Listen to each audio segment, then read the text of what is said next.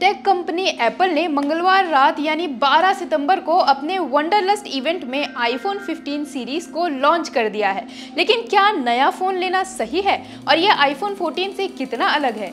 आइए इस वीडियो में आपको बताते हैं। नमस्कार मैं हूँ प्रेरणा सागर और आप देख रहे हैं द वोकल न्यूज़ भारत में आईफोन 15 के 128 जीबी वेरिएंट की कीमत 79,900 रुपीस और आईफोन 15 प्लस के 128 जीबी वेरिएंट की कीमत 89,900 रुपीस रखी गई है। आईफोन 15 प्रो के 128 जीबी वेरिएंट की कीमत one lakh thirty four thousand nine hundred और प्रो मैक्स के 256 जीबी वेरिएंट की कीमत one lakh fifty nine thousand nine hundred रखी गई है। कंपनी ने इस बार आईफोन की कीमतों में चेंजेस कुछ भी नहीं किए हैं। जिस प्राइस पर आईफोन 14 को लॉन्च किया गया था उसी प्राइस पर आईफोन 15 सीरीज़ को भी लॉन्च किया गया है। हालाँकि फ़ोन के स्पेसिफिकेशन में कई बड़े अपडेट किए गए हैं।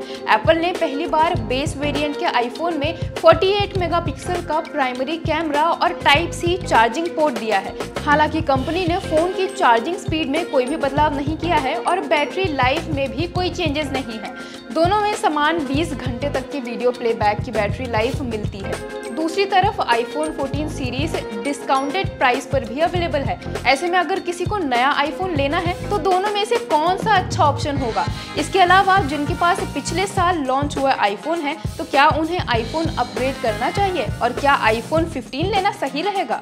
अगर आप लेटेस्ट प्रोसेसर बेहतर कैमरा और टाइप सी चार्जिंग पोर्ट के साथ आईफोन खरीदना चाहते हैं तो आप आईफोन 15 खरीद सकते हैं। आईफोन 14 में 12 मेगापिक्सल का प्राइमरी कैमरा मिलता है, जबकि आईफोन 15 में 48 मेगापिक्सल का प्राइमरी कैमरा मिलता है। फोटोग्राफी करने वाले लोगों के लिए आईफोन 15 में अपग्रेड करना बेहतर ऑप्शन हो सकता है। वहीं नए आईफोन के सभी वेरिएंट में डायनेमिक आइलैंड का भी फीचर मिलेगा। ये फीचर पिछले साल कंपनी ने प्रो और प्रो मैक्स वेरिएंट में दिया था।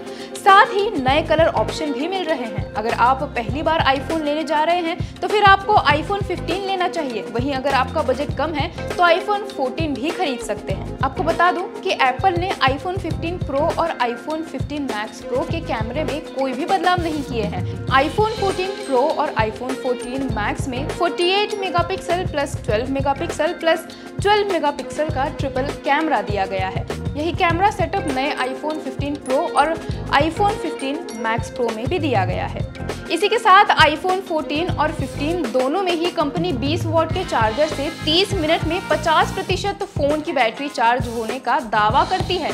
कंपनी की ऑफिशियल वेबसाइट के अनुसार सभी फ़ोन में वही चार्जिंग स्पीड मिलती है, जो आईफोन 14 सीरीज़ में मिलती है। तो ऐसे में आप कौन सा आईफोन खरीदना पसंद करोगे?